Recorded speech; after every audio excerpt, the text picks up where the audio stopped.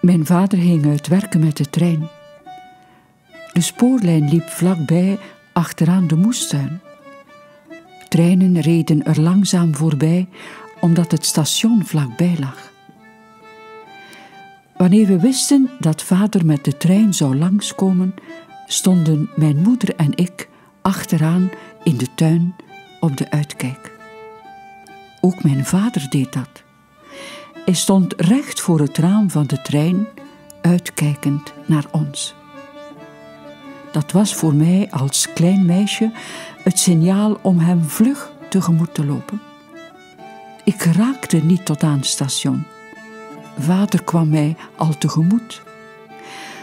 Maar het was een vreugde mijn kleine kinderhand in zijn grote vaderhand te kunnen leggen.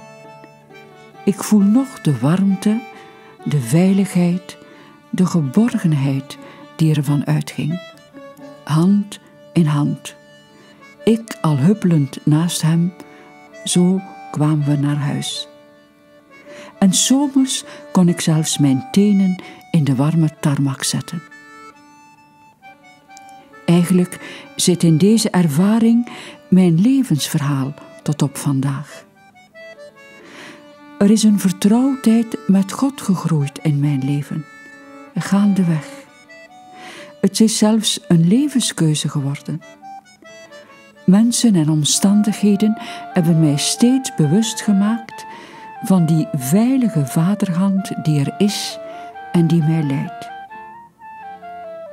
Zo mag ik zeggen dat mijn geloof een echt vadergeloof is. Ik ben bij Hem en in Hem geborgen.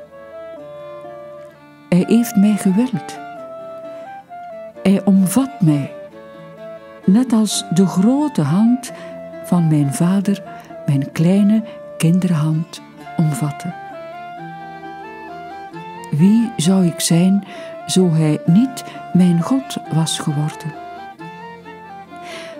Wie zou ik zijn zo mijn vader niet op de uitkijk had gestaan van op de trein en ik niet naar hem toe was gelopen? Nu hij er niet meer is, zou ik het hem willen vertellen. Het verhaal van zijn tedere vaderhand. Maar hij kent het verhaal, nu hij bij God is en zelf mag rusten in diens veilige vaderhand.